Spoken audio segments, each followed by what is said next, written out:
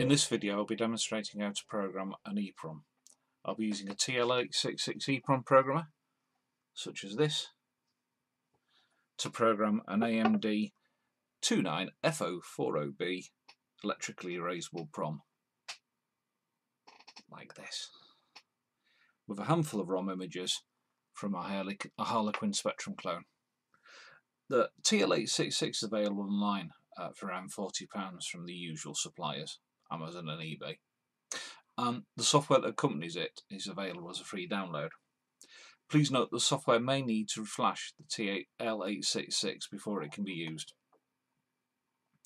So before I start, I need to plug my device into the USB port of my PC.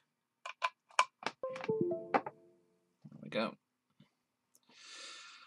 And now I need to select the chip. Select my IC. So launch the software. Select the IC by clicking on this button.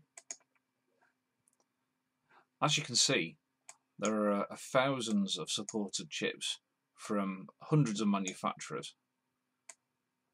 Uh, so I'll need to select the right one now.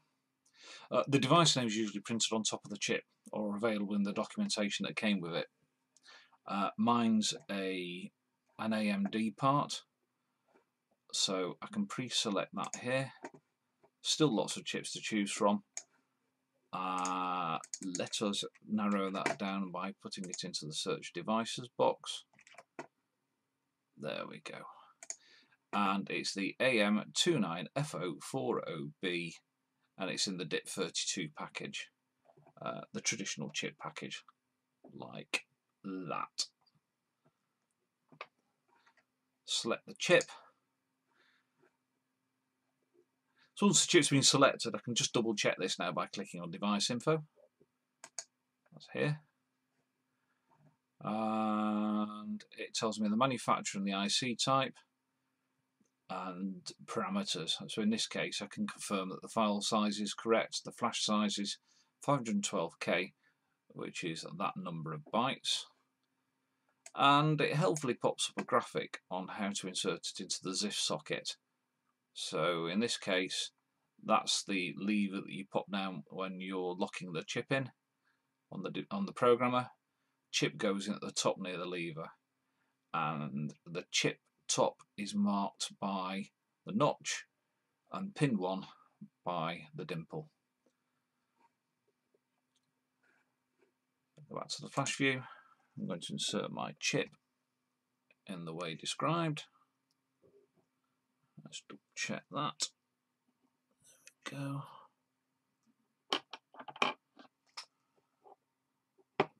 And put the lever down there. Next I'm going to load the data in off the chip. Um, I do that by selecting the device menu and then click on read. And that will read the data in off the chip into the software's buffer. And click on the read button here.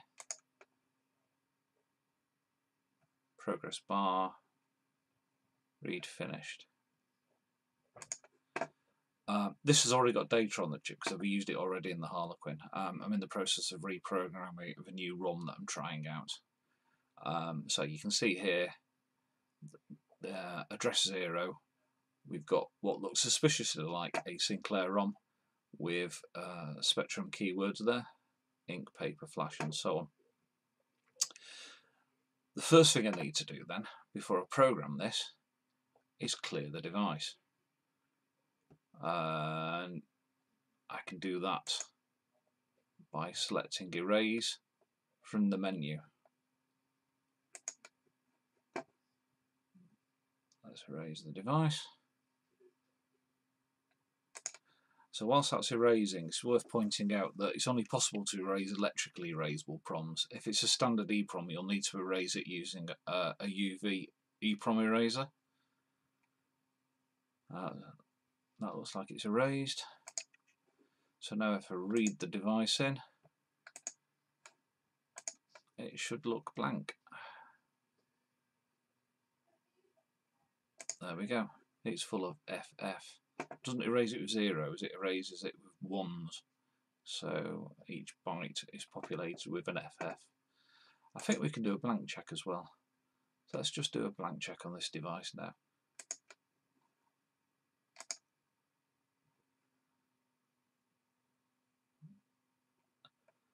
Memory is empty. There we go. So we're good to go now to program it. So the way that this works is you load the data into the software's buffer here. Uh, and once you've loaded all of the data into the buffer, you then write that data to the PROM. So my EEPROM's 512k long, and I need to treat, treat it as eight banks of 64k for the Harlequin. So I need to load each ROM into the beginning of each 64k bank. So let's start off with the 48k Spectrum one, which we want to put in bank 0. Uh, there we go. I've helpfully arranged these in the banks that I want numbered left on the left hand side here. So the 48k ROM is a 16k ROM. Let's open that. And you've got to make sure if you're loading multiple files in the buffer that you disable clear buffer when loading the file. Otherwise, when you load subsequent ROMs in, it will clear the buffer, undoing the work you'd done previously. So I want that to go into address 0. Let's load that in. It's a binary file, I know that because I've got that from uh, that particular file from an emulator. Intel Hex is a, a text format for storing um, ROM images. So that's loaded that into address 0. Remember, it's not loaded it onto the EEPROM yet, just into the buffer. Uh, the next ROM, we want to go into bank uh, hex 10000. So scroll down. I need it to be here exactly, oh, just gone past it, here. So the way we do that is we open the file again, select the second ROM we want to load in. This one's 32k, so it'll take up half of the 64k bank that's allocated to it. Open that up.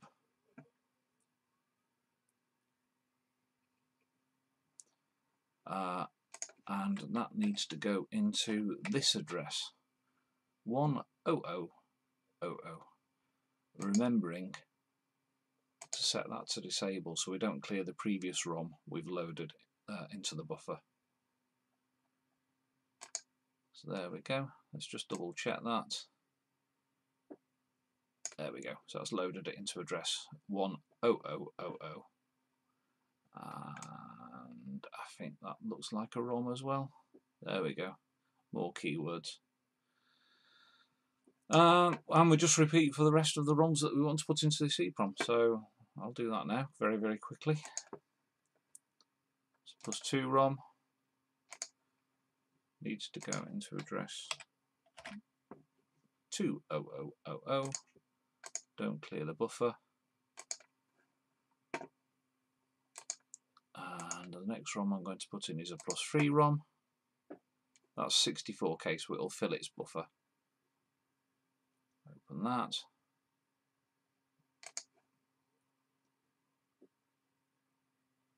give me a second to load off my network drive that's going into there 30000 don't want to clear the buffer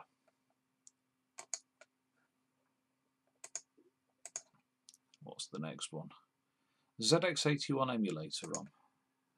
Let's load that one up. Uh, I'm going to do a little bit of a video article on that at some point. It's a ZX81 emulator that runs on a Spectrum. I'll put links to the uh, website at the bottom of this uh, video. So let's load that to address 5000. What's the next one? Another one, BBC Basic ROM. This is the one that I'm trying to test at the moment because the original BBC Basic ROM didn't work on the Harlequin. Um, so I've modified the ROM by manually editing the hex to hopefully fix the issue. And uh, with a bit of luck, we can get that fired up on hardware. Well, it's finding an emulator. I think there's something peculiar about the Harlequin that's stopping it from working.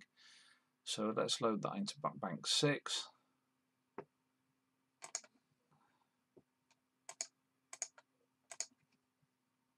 There we go.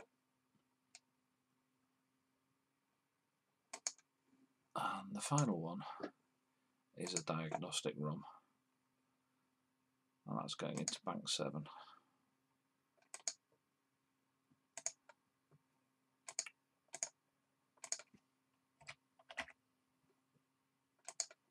So I've got all of the ROMs I want uh, loaded up into the buffer.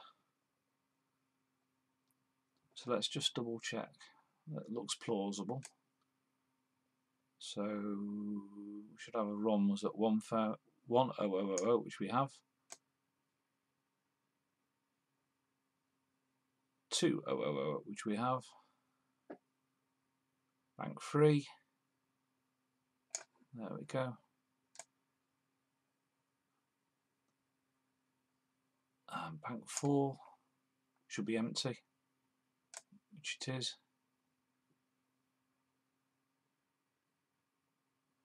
Bank 5. Looks like it's got data in. There we go.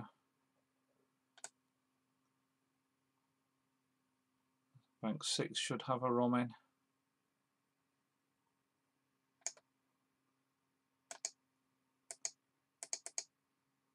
Which it does This is the BBC Basic ROM.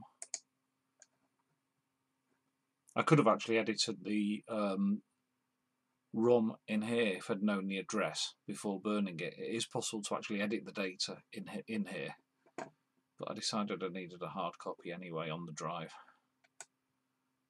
And there should be a diagnostic ROM in bank 7. Scroll down.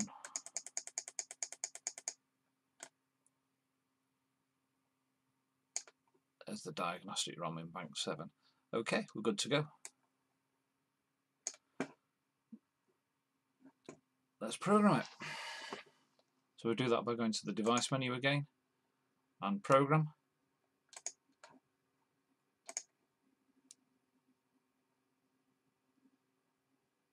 Oh, it looks like it erases anyway. Maybe the erase step's unnecessary. Programming the code memory. And verifying. There we go, done. Job's good. Now I'll just show you the verify step. Um, this is handy for checking a ROM or an EEPROM that is suspected of being faulty. So the way you do that is you would put a known good ROM into the EEPROM programmer, read it into the buffer, or get the file with the ROM data in there and read it into the buffer, and then insert the suspected chip into the programmer and select verify. If the chip's good, the verify should pass. If the chip has got any fault electrically or with the data within, it'll fail. So hopefully this will pass. We know it's passed, it passed earlier.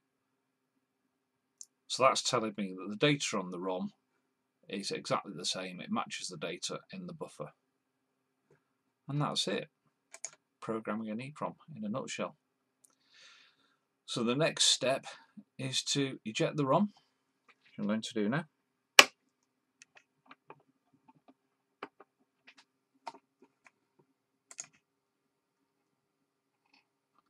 and test it. Thank you for watching.